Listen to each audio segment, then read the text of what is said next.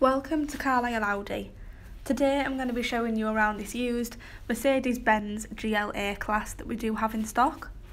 As you can see this car does come with the Mercedes badging there on the front bonnet and we do also have the front LED headlights. We have the body coloured door mirrors with the aluminium roof rails and window trim and this car does come with the privacy glass to the rear and rear side windows. As you can see there we have the LED rear lights and all of the badging on the back. And we do also have a nice amount of boot space in the power operated tailgate for all of your personal belongings with the button there that does just close automatically as well.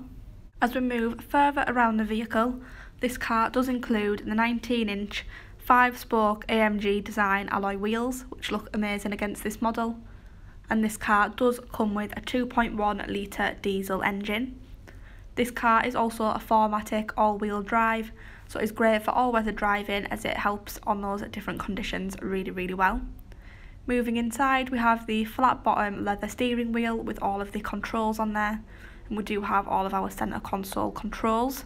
We do have our screen there in the middle, which can be controlled using the driver's controls on the left, we can access a range of different settings from the main menu, such as the navigation system, where you can enter all of your destinations and move the map in and out as well.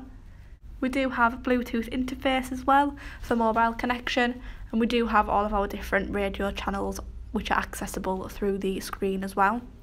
Moving down we do have our heated front seats there and underneath that we do have our Thermotronic luxury automatic climate control with the two zone display.